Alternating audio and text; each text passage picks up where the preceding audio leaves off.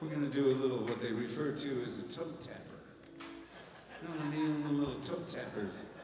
This is a song. It's a feature the horn section, which, by the way, is your local cats. These guys are all from Houston. Ken and the boys.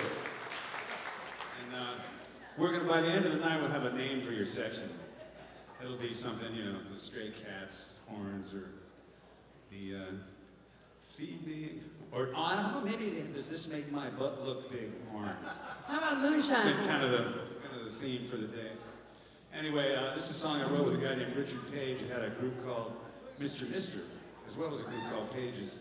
And uh, we wrote this for an album I put out in the late 1800s, right before the invention of the buckboard. Anyway, it's called Satisfaction.